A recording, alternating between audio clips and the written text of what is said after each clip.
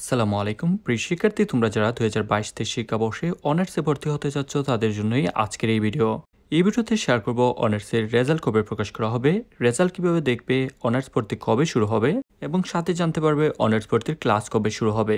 তো student basic চ্যানেলে তুমি নতুন হয়ে থাকলে অনুরোধ করব চ্যানেলটি সাবস্ক্রাইব করে পাশে থাকা বেলাইকনে ক্লিক করবে। তো প্রথমেই কথা বলা যাক অনার্স ভর্তির রেজাল্ট কবে নাগাদ প্রকাশ করা হবে।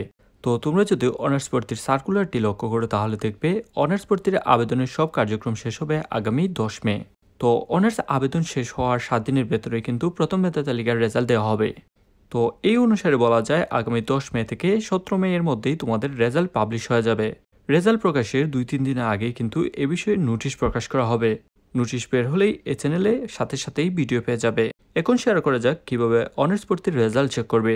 তো এর জন্য যেতে হবে জাতীয় বিশ্ববিদ্যালয়ের অফিসিয়াল ওয়েবসাইটে যাওয়ার পর বাম দিকে দেখতে পারবে অ্যাপ্লিকেন্ট লগ নামে একটি অপশন রয়েছে। তারপর শুধু অ্যাডমিশন রুল আর পিন দিয়ে লগ করলেই সামনে রেজাল্ট চলে আসবে।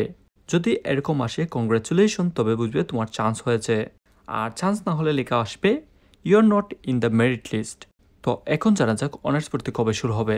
অনার্স ভর্তি শুরু হবে যেদিন প্রথম মেধা তালিকা প্রকাশ করা হবে এরপর দিন থেকেই। আর যারা জানো না এখনও যে অনার্সে ভর্তি ক্লাস কবে শুরু হবে তারা এই নোটিশটি লক্ষ্য করতে পারো। এখানে বলা হচ্ছে এই শিক্ষাবর্ষে ভর্তিকৃত শিক্ষার্থীদের ক্লাস শুরু হবে আগামী এক জুন। অর্থাৎ তোমাদের অনার্স ভর্তি ক্লাস আগামী এক জুন থেকে শুরু হবে।